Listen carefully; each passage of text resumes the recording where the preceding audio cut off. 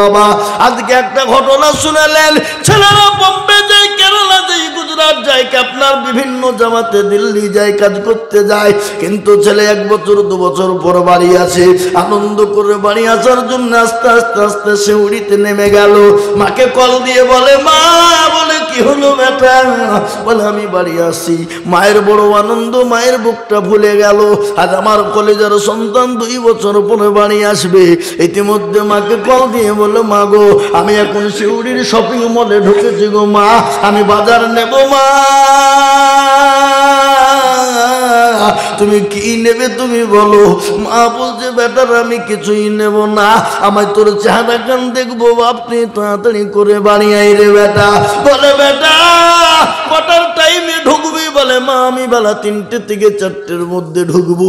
এই কথা যখন বলা, বলে, বাপ, বাড়ি আয়, কিন্তু তোর বাপের জন্য কোনো জিনিস যদি প্রয়োজন হয় আনবি। মা বাড়িতে আনন্দ করে, যত্ন করে, ভোনা করেছে। এদিকে আপনার আলু পোস্ত দিয়ে, মাংস দিয়ে সুন্দর করে রান্না করেছে ছেলে আসবে খাবে। তিনটে বেজে গেল। সন্তানের খবর নাই, চারটে বেজে গেল, কোনো রকমের কোনো খবর নাই। স্বামীকে বলছেন, স্বামী গো, আমার সন্তান তো চারটে, তিনটের মধ্যে বাড়ি ঢুকার কথা, কিন্তু এখনও পর্যন্ত বাড়ি ঢুকলো না গো চাপ সাপি একটু ফোন করুন কল করুন। সঙ্গে সঙ্গে স্বামী ফোন লাগিয়ে দিল।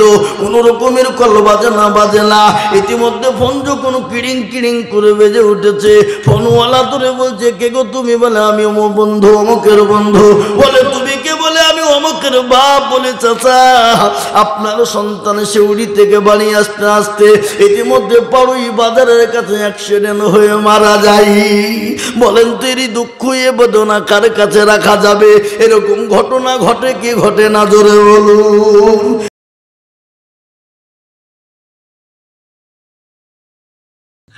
খালি আমি বকেই যাব আর আপনারা খালি কান পেতে শুনে যাবেন, তাহলে হবে না। আপনাদের দেশের দিকে ভালোবাসা ভালোবাসা আছে? নাই বুঝি? কোনো ছেলে যদি কোনো মেয়েকে ভালোবাসে, আমি তোমাকে কি ভালোবাসি গো? তোমার জন্য জান দিয়ে দেবো। যা বলবা তাই করব। তুমি আমার প্রাণের পান, জানের জান, মানের মান। তুমি যা বলবা তারা আমাদের দেশে যুবকরা আছে। যদি ভালোবাসা প্রেম প্রীতি করে, তো ভালোবাসাকে বলবে, লাভারকে বলবে, তুমি যা বলবা তাই দেবো। রক্ত দিতে বললে কলিজা কাটিয়ে দিয়ে দেবো। কিন্তু ওই মালের যখন বিয়ে হয়ে যায়, তখন বউ বলে, এখানে শাড়ি আনো বলে ভাগ ভাগ করি না, বাপের বাড়ি যা। কিন্তু বিয়ের আগে বলে, তুমি যা বলব তাই করব। রক্ত দিয়ে চিঠি লিখে দেবো, কিন্তু যখন বিয়ে হয়ে যায়, সাড়ে চার বলে ভাগ ভাগ করে বাপের বাড়ি যারা একবারে করে বাধা দেবো। এ বাবা, তো আমি আপনাদেরকে বলি, একতরফা কোনো কাজ হয় না, একতরফা কোনো কাজ হবে? তো দুজনাই দুজনকে বলবে হ্যাঁ আমি তোমাকে ভালোবাসি, অমুক বাসি তবেই তো প্রেম প্রীতি, মহব্বত জমবে নাকি বলছেন আপনারা? আরে বাবা, মহব্বত হতে হ্যাঁ দিন সে দৌলাত সে নেই প্যার হতে হ্যাঁ এক সে হাজারু সে নেই ভালোবাসা, প্রেম প্রীতি কার সঙ্গে হয়? জোরে বলুন। আল্লাহর সাথে। আজকে কোনটা বলব বাপ মসজিদে একশোটা পনেরো মসজিদ ভেঙে দেওয়া হলো ত্রিপুরার জমিনে। খালি ত্রিপুরায় নাই দিল্লিতে ভেঙে দেওয়া হলো। আজকে মুসলমানদের মসজিদে আজান হয়। হাইয়ালা আর আমরা বলি, আমরা পারলুম না ইমামার মজ্জেন তরা চালা। আমরা চায়ের দোকানে, পানের দোকানে, খামারে, মাঠে, ঘাটে, বাজারে, গেল্লা, গেবত চুগলামো, পরচর্চা, পরনিন্দা, করে কি করি না জোরে বলুন? করে কি করি না জোরে বলুন? কিন্তু মসজিদে যাইনি। আজকের আমাদের দেশের আর একটা নীতি শুনেলেন, জীবনও নমাজ বলে না, রোজা নাই, কুল নাই, কলমা নাই, উত্তর দক্ষিণ মসজিদ জেনে না, সে মাল হচ্ছে মসজিদের সেক্রেটারি মসজিদের ক্যাশিয়ার মসজিদের সেক্রেটারি জীবনেও মসজিদ চিনে না, কিন্তু সেক্রেটারি কেন? পয়সা আছে? মাল আছে? হ্যাঁ? বংশ বড়? লাঠির জোর আছে? নাকি? হ্যাঁ? নেতা? ক্যাশিয়ার? ঘোর মদ ঘোর তাড়ি ঘোর, সব ঘোরাও বা জাল, মসজিদের ক্যাশিয়ার। হ্যাঁ? সেক্রেটারি আমার জীবনেও মসজিদে পড়ে না। মসজিদে বাড়িতে বাড়িতে, রাত্রিরে বউ, স্বামী, স্ত্রী ঝগড়া করেছে। ঝগড়া করে একেবারে সারা চলছে। কি? বিড়ি মগার ঘুম নাই। বইয়ের সঙ্গে ঝগড়া। খবরদার শীতের সময়তে বইয়ের সঙ্গে ঝগড়া কেউ করেন না। মরেছে হ্যাঁ? মগাও সারা রাত টানছে। আর ঘড়ির দিকে তাকিয়ে তাকিয়ে দেখছে দেখি আজকে মৌলবি আজান ঠিকঠাক দেয় কিনা। যদি মসজিদে আজান দিতে পাঁচ মিনিট মৌলবির দেরি হয়ে যায় ও কাল কি বলবে "এ, এ, এ, এ, এই মৌলবি। মসজিদে থাকার মনে হয় ইচ্ছা নাই নাকি? কেন কি হলো? কি হলো কি? আমি কি করব গো বলে মসজিদের আজানটা ঠিক করে দিতে পারো না। দিতে পারো না? পাঁচ মিনিটের হেরো না? এই মগা তো জীবনে আসে না। এই মগা দেখল? টাইম ফেল হলো কিন্তু মগা সারা রাত ঘুমায়নি, বিড়ি বইয়ের সঙ্গে ঝগড়া। এরকম আমাদের সমাজ আছে না নাই যেটা বলুন? আছে না নাই? বলে, মৌলবীরও খাইছি, মুয়াজ্জেনেরও খাইছি। হ্যাঁ এরকম আমাদের সমাজ আজকে কোনটা বলব? আর আমাদের দেশের লোক, একশোর মধ্যে আটানব্বই পার্সেন্ট লোক নমাজ পড়ে না। টু পার্সেন্ট লোক নমাজ পড়ে। ক পার্সেন্ট? Two percent. এক পার্সেন্ট লোকের নামাজ হয় আর আর এক পার্সেন্ট লোকের নামাজ হয় না। কেমন হয় না? ও আত্মা হেতু জানে তো দুরু শরীফ জানে না, দুরু শরীফ জানে তো দোয়া কুনুত জানে না, দোয়া কুনুত জানে তো আপনার দোয়া মাসুরা জানে না, দোয়া মাসুরা জানে তো দোয়া দোয়া কি বলে? সানা জানে না, দোয়া সানা জানে তো ইন্না তাই না কুল ছাড়া নামাজ জানে না। কি বুঝছেন আপনারা বলুন? কথা বলেন আপনাদেরকে, কথা বলতে হবে? এরকম লোক সমাজে আছে না নাই? আর মৌলবীর কাছে বলে না যে, হুজুর, আমার আত্মে হেতুটা হচ্ছে কি দেখেন তো? দুরু শরীফটা হচ্ছে কি দেখেন তো? জীবনেও বলবে না। কেন? যদি মৌলবীর কাছে বলতে যার মৌলবী যদি বাই বাইচান ভুল ধরিয়া ফেলে, তো মৌলবীর কাছে আমার মোড়লি আর মাতাব্বুরি চলবে? জোরে বলুন। মসজিদের ইমামের কাছে মুরলি, মাথা পরে চলবে না। আজকে আমাদের সমাজ সেদিন একজনকে জিজ্ঞাসা করে বলছে, এখন নমাজ ক বছর ধরে পড়ছেন আপনি? বলে, বাবা, আমি মোটামুটি ষাট বছর নামাজ পড়ছি। বয়স কত হলো আপনার? বলে মোটামুটি একশো কুড়ি বছর হলো। তা আমি বলছি, চাচা, একটা কিছু মনে করেন না, কথা বলব? বলে হ্যাঁ বাবা, বলো বলো, কি বলব বলো? বলে, একটু সানা বান্ধা দোয়াটা বলেন তো। সানা বাঁধা বুঝেন তো নাকি? হ্যাঁ? তুমি যে হ্যাঁ বাপ সানা বাঁধা দোয়া তো এখন বলতে বলতে পারব না আমি।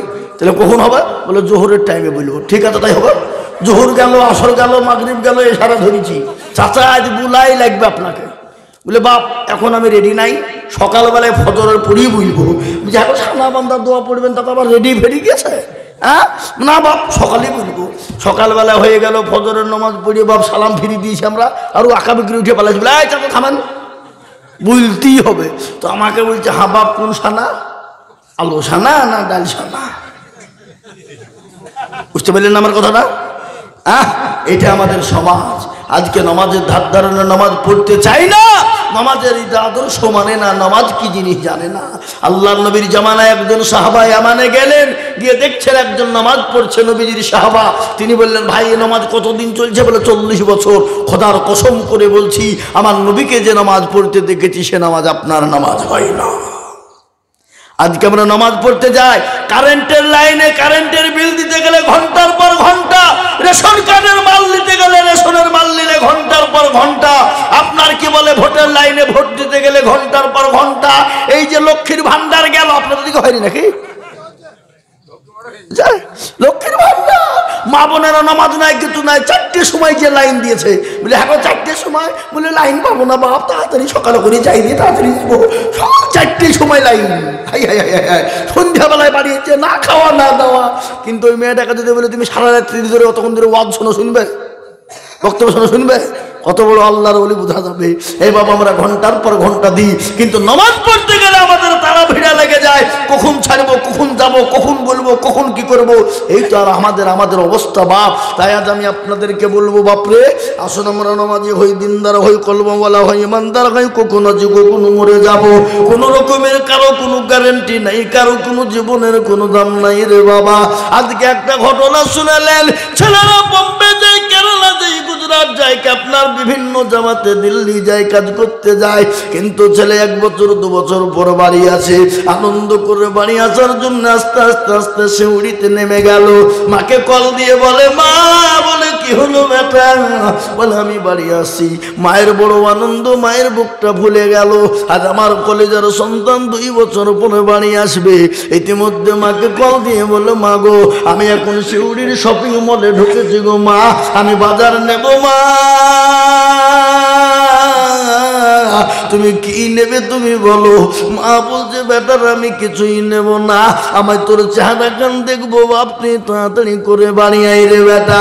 বলে, বেটা টাইমে ঢুকবি বলে, মা, আমি বেলা তিনটে থেকে চারটের মধ্যে ঢুকবো। এ কথা যখন বলা, বলে, বাপ বাড়ি আয়, কিন্তু তোর বাপের জন্য কোনো জিনিস যদি প্রয়োজন হয় আনবি। মা বাড়িতে আনন্দ করে, যত্ন করে, ভোনা করেছে। এদিকে আপনার আলু পোস্ত দিয়ে, মাংস দিয়ে সুন্দর করে রান্না করেছে, ছেলে আসবে, খাবে তিনটে বেজে গেল সন্তানের কোনো খবর নাই, চারটে বেজে গেল, কোনো রকমের কোনো খবর নাই। স্বামীকে বলছেন, স্বামী গো, আমার সন্তান তো চারটে, তিনটের মধ্যে বাড়ি ঢুকার কথা, কিন্তু এখনও পর্যন্ত বাড়ি ঢুকলো না গো চাপ সপি একটু ফোন করুন, কল করুন। সঙ্গে সঙ্গে স্বামী ফোন লাগিয়ে দিল। কোনো রকমের কল বাজে না বাজে না। ইতিমধ্যে ফোন যখন কিড়িং কিড়িং করে বেজে উঠেছে, ফোনওয়ালা ধরে বলছে, কে গো তুমি? বলে, আমি অমুক বন্ধু, অমুকের বন্ধু। বলে, তুমি কে? বলে অমুকের বাপ বলে, চাচা, আপনার সন্তান সেউড়ি থেকে বাড়ি আসতে আসতে ইতিমধ্যে পাড়ুই বাজারের কাছে অ্যাক্সিডেন্ট হয়ে মারা যায়। বলেন তেরি দুঃখ, এ বেদনা কার কাছে রাখা যাবে? এরকম ঘটনা ঘটে কি ঘটে না? জোরে বলুন। কি ঘটে কি ঘটে না? এই তো দুই সপ্তাহ আগে আমাদের মুর্শিদাবাদ বড়ুয়া থানা বাবাকে আপনার বীরভূমের পাশেই রে বাবা। বড়ুয়া থানা আছে। ছেলেটা বোম্বে থেকে পাঁচ বছর পর বাড়ি আসছিল। গোটা ফ্যামিলি আপনার স্করপিও ভাড়া করে আনতে গিয়েছিল। তাকে রিসিভ করতে গেল। ওই এয়ারপোর্টে দমদমে বাবা। এয়ারপোর্ট থেকে দমদম থেকে গোটা ফ্যামিলি গিয়েছিল। প্লেন দেখবে, জাহাজ দেখবে এয়ারপোর্টও দেখবে, ঘুরতে যাবে। কিন্তু আল্লাহর গিলিলা খালাবা ওই ছেলেটাও মারা গেল এবং তার সঙ্গে যতগুলা ফ্যামিলির লোক ছিল, তারা একসঙ্গে বহর বর্ধমান শহরে আপনার লরির সঙ্গে অ্যাক্সিডেন্ট হয়ে মারা যায় এরকম ঘটে না। আজ আমি আপনাদেরকে বলব, বা, কারও কখন কোনটায় মেরুত হবে, কারও কোন জায়গাতে কোন সময় মেরুত হবে রে বাবা। তাই আল্লাহর বড় হুকুম, নামাজ আর মানুষকে ভালোবাসা, মানুষের সঙ্গে সুলুক ব্যবহার করা, মানুষের সঙ্গে সুন্দর ব্যবহার করা। আল্লাহর নবী বলেছেন, আল্লাহ কোরআনে পাকের মধ্যে বলেছেন, আমার নবীকে আমি এত সুন্দর করে দুনিয়ায় বানিয়েছিলাম, যা পৃথিবীর কাউকে বানাইনি। এ দেখেন সেনদিন লন্ডনের একজন লেখক পাঁচশো মনীষীর জীবনী লিখেছেন রে বাবা। পাঁচশো মনীষীর জীবনী লিখতে গিয়ে তিনি দেখলেন প্রতিটি মনীষীর জীবনে কলঙ্কের দাগ আছে কিন্তু একজন আর কলঙ্কের দাগ নাই। যিনি হলেন জনাবে মোহাম্মদুর রসুল্লাহ সকলে বলুন সাল্লাহ আলাইসাল্লাম এটা দুনিয়ার মানুষ বলেছে আর আমার আল্লাহ কোরআনে পাকের মধ্যে ঘোষণা করে দিয়ে বলেছে আল্লাহ বলেছেন না না, আল্লাহ নিজেই বলেছে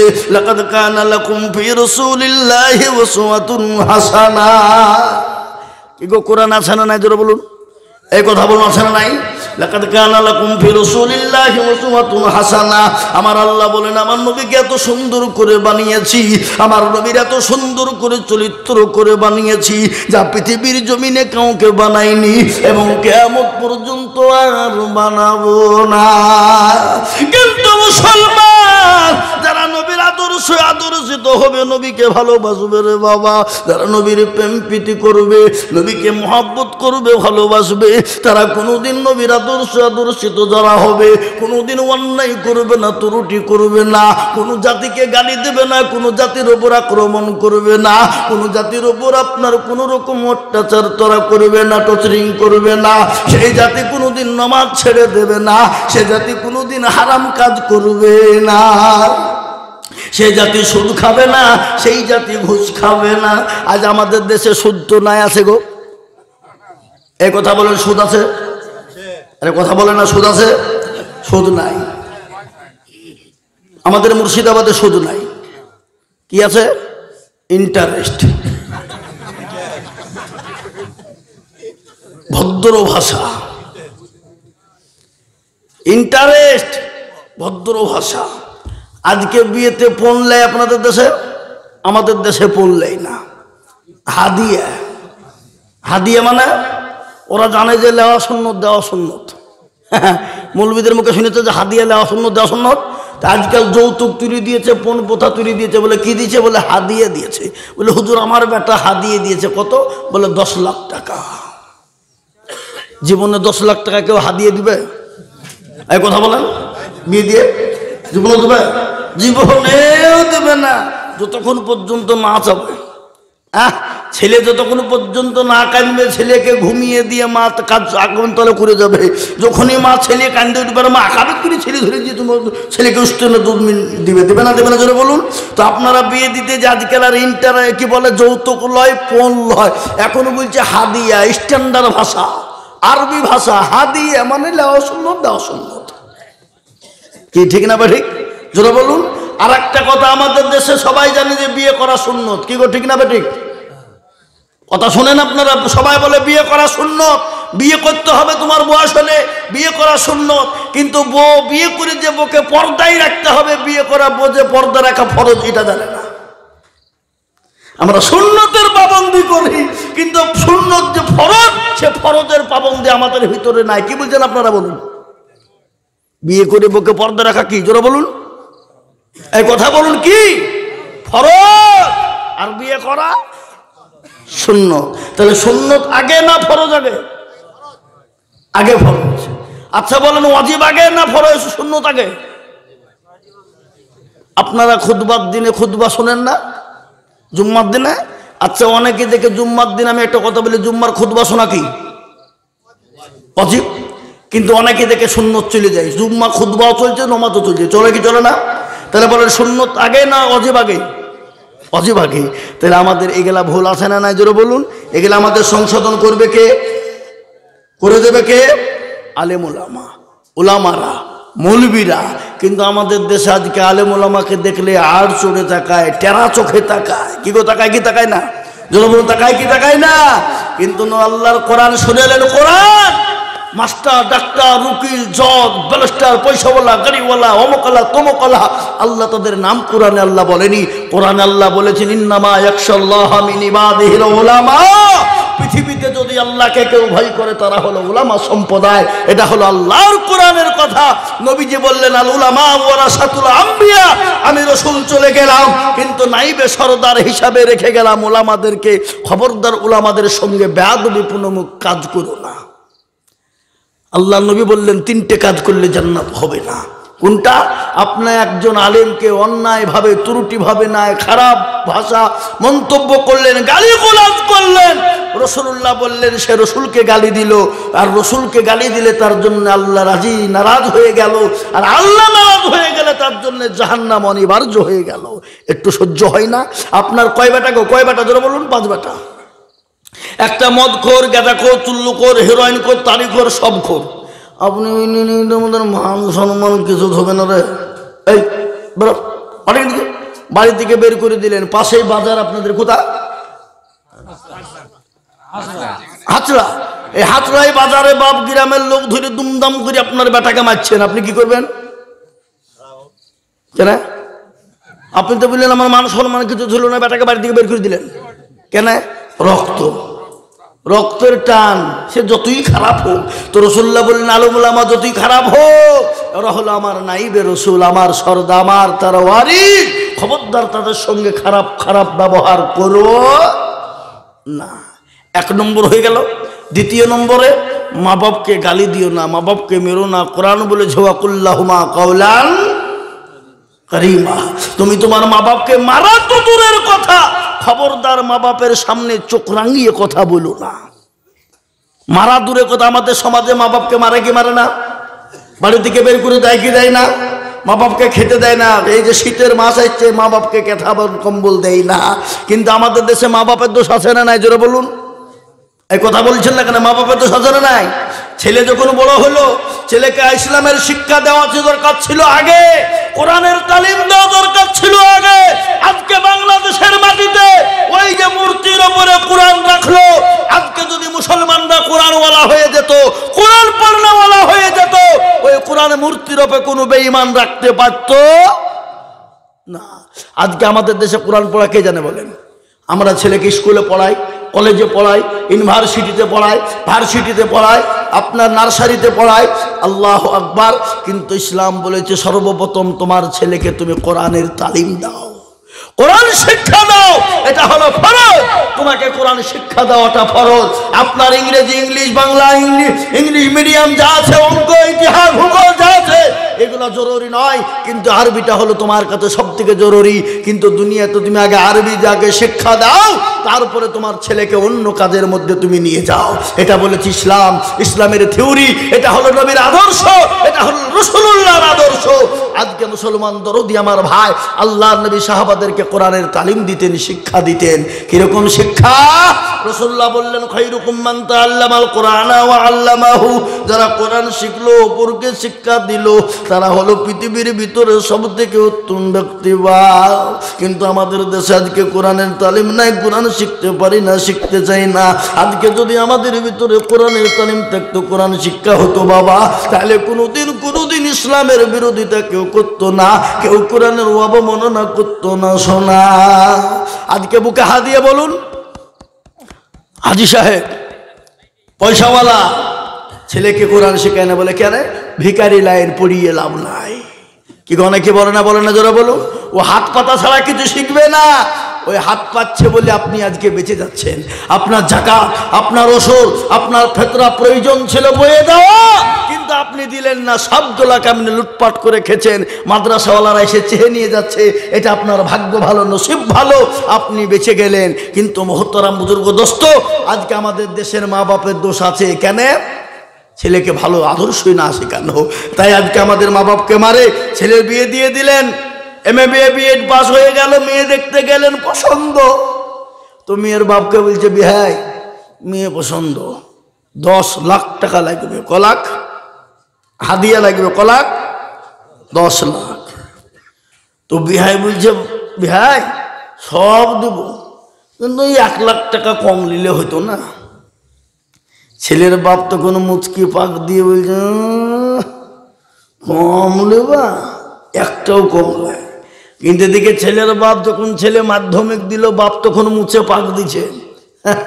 আমার এড়িয়ে এক লাখে চলবে।